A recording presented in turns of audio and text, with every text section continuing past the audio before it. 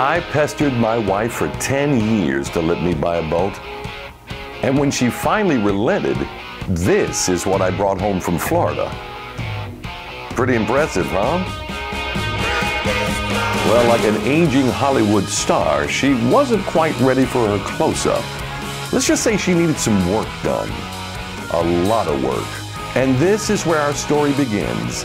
A complete refurbish of this classic boat, a 1968 57 foot Chris Craft Constellation, from bow to stern, top to bottom.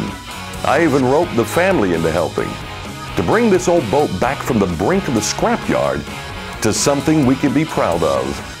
And you gotta admit, this is cool.